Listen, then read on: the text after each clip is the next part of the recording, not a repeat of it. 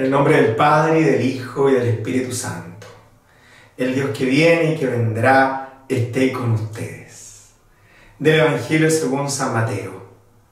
Mientras caminaba a orillas del mar de Galilea, Jesús vio a dos hermanos, a Simón, llamado Pedro, y a su hermano Andrés, que echaban las redes al mar porque eran pescadores.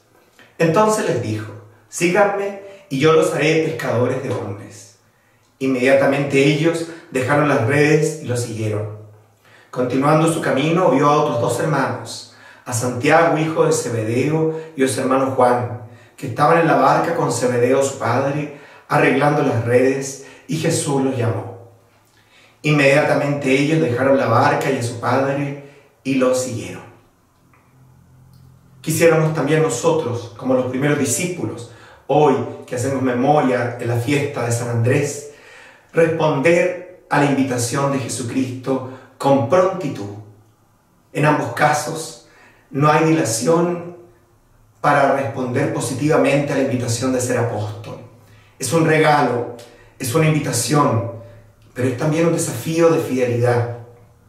Que ningún otro panorama, ninguna otra propuesta, ningún otro proyecto de vida se nos haga tan atractivo como para posponer o peor aún negarnos a la invitación apostólica.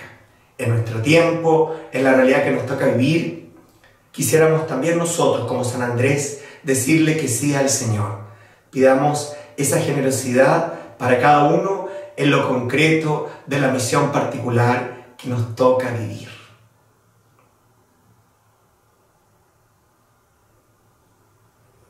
Creo, Jesús mío, que estás real y verdaderamente en el cielo y en el santísimo sacramento del altar.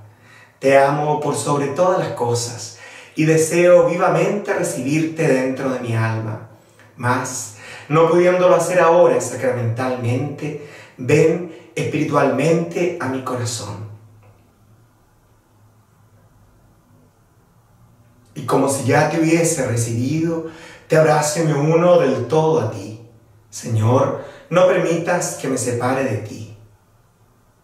Que le bendiga aquel que fundamento de los apóstoles, en el nombre del Padre y del Hijo y del Espíritu Santo.